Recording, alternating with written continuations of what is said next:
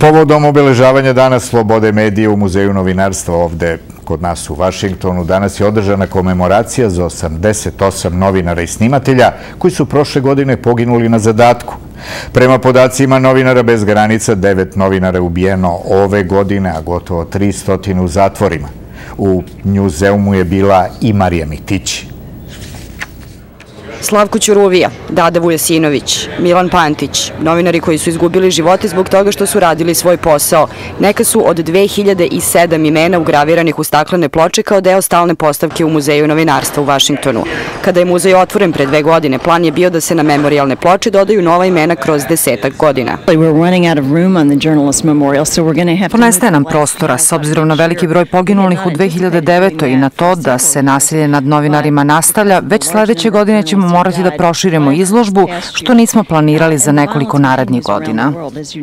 U Njuzeumu je povodom Dana slobode medija i dodatka memorialnoj izložbi održana ceremonija na kojoj je specijalni gost bila poznata novinarka CNN-a Kristijana Mampur, koja je karijeru ratnog izveštača započela 1990-ih u Bosni i Hercegovini. Prisjećajući se strahovitih iskustava iz Sarajeva, a Mampur je prisutnima rekla da je rat na Balkanu uticao na promenu u samom ratnom izveštavanju.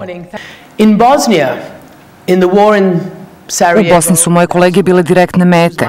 U prethodnim ratovima novinari su mahom ginuli kada bi se našli između dve vatre, ali 1990-ih u Sarajevo je to bio prvi put da je zabeleženo da su novinari namerno ubijani.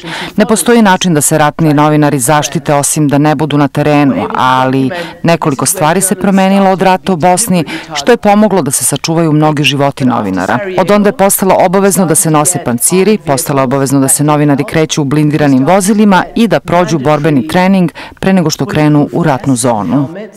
Amampur je rekla i da novinari koji se bave ovom vrstom izveštavanja idu ka opasnosti ne zbog toga što su ovisnici o adrenalinu, kako mnogi misle, već zbog toga što duboko veruju da moraju da budu oči i uši koji će prenositi istinu.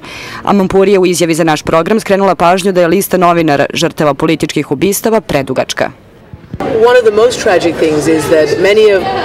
Jedna od najtragičnijih činjenica je da ubistva većine naših kolega, novinara i prijatelja prođu nekažnjeno i da se nikada i ne sprovede istraga. To je nedopustivo.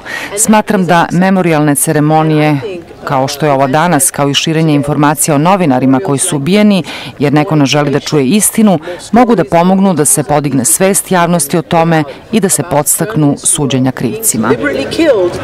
Izvršni direktor Muzeja novinarstva Charles Overby je u završnoj reči na ceremoniji istakao da ljudi koji su dali živote za svoju profesiju treba da nas podsjećaju na to koliko je važna sloboda medija i koliko je opasno traganje za istinom. Samo prošle godine život je izgubilo 88 novinara, a najveća tragedija se dogodila na Filipinima 23. novembra kada je privatna milicija u provinciji Maguindanao ubila 50 ljudi, među kojima je bilo čak 33 novinara. Sultan Mohamed Munadi.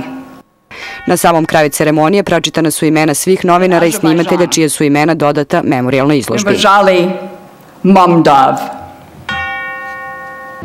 Kao i svake godine na Međunarodni dan slobode medija, otvara se pitanje ko štiti novinare kada vlade raznih zemalja ne izvode njihove ubice pred lice pravde, a pretnje novinarima se često ne uzimaju za ozbiljno.